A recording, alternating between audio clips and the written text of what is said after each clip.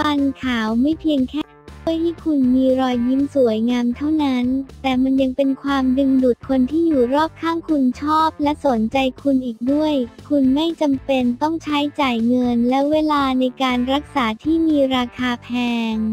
เพียงแค่ใช้วิธีธรรมชาติแบบง่ายๆ คุณก็จะได้รับฟันขาวได้ดั่งใจปองเหมือนกัน เอาเรามาลองทำด้วยกันเดี๋ยวนี้เลย ฟันจะขาวในเวลาเพียง 2 นาทีสวยยังไงกันบ้างส่วนผสมแค่ 2 ชนิดเท่านั้นคือมะนาวและผงฟู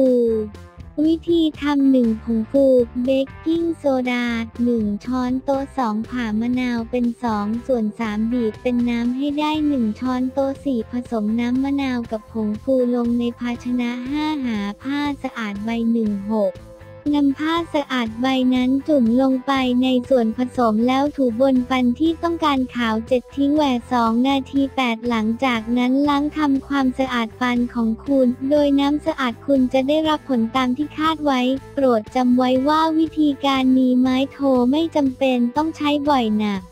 สัปดาห์ละครั้งพอ ถ้าใช้บ่อยเกินไปมันจะมีผลกระทบต่อเหงือกฟันของคุณ